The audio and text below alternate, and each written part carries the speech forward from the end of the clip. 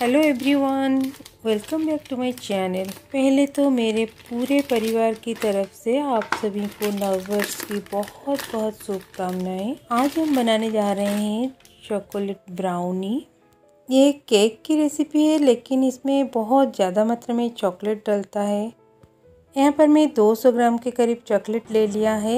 यहाँ पर मैं मोडे का डार्क कंपाउंड यूज़ किया है। अगर ये ना मिले तो आप डेयरी मिल्क भी यूज़ कर सकते हैं इसके बदले। अभी मैं डाल रही हूँ वन फोर्थ कप से थोड़ा ज़्यादा फ्रेश क्रीम आँच को बिल्कुल धीमा करके हम स्लो फ्लेम पे इसे मेल्ट करेंगे।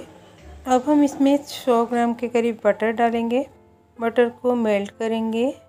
याद रखिए, आँच बिल्कुल धीमा होना चाहिए। और एक बात आप क्रीम के बदले दूध भी यूज़ कर सकते हैं। अभी हम यहाँ पर आधा कप दूध डालेंगे। दूध और चॉकलेट को फिर से अच्छे से मिक्स कर लेंगे। इस मिक्सर को हम एक बॉल में निकाल लेंगे और इसे ठंडा कर लेंगे। अब हमारा मिक्सर रूम टेम्परेचर पर आ गया है। अब हम एक छलनी लेंगे और इसमें डालेंगे एक कप मैदा। अब मैं डाल रही हूँ आधा कप मिल्क पाउडर अभी हम डालेंगे इसमें आधा कप पीसी हुई चीनी। अभी मैं डाल रही हूँ तीन बड़ा चम्मच कोको पाउडर, आधा टीस्पून बेकिंग पाउडर। अब हम इससे मिक्स करते हुए छान लेंगे। वेटर ड्राई इंग्रेडिएंट्स को अच्छे से मिक्स कर लेंगे। अभी हम बैटर में और थोड़ा सा दूध डालेंगे। करीब दो बड़ा चम्मच मैंने यहाँ पर दूध डाला है। अभी हमारा बैटर बढ़िया से तैयार हो गया है। आप देख सकते हैं। आप पहले से केक टिन को ऑयल से ग्रीस कर लीजिए। अभी हम केक बैटर को केक टिन में डालेंगे। केक को मैं आज कढ़ाई में बेक करूँगी। एक प्लेट को मैं उल्टा करके रख रही हूँ या फिर इस तरह की अगर रिंग है, आप इसे भी रख सकते हैं। केक बैटर को डालने से पहले आप 10 मिनट के लिए इसे प्रीहीट कर लीजिए। केक बैटर को रख के हम 40 मिनट तक इसे बेक करेंगे लो फ्लेम पे। पूरा फोर्टी मिनट्स के बाद हमारा ब्राउनी बिल्कुल तैयार हो गया है।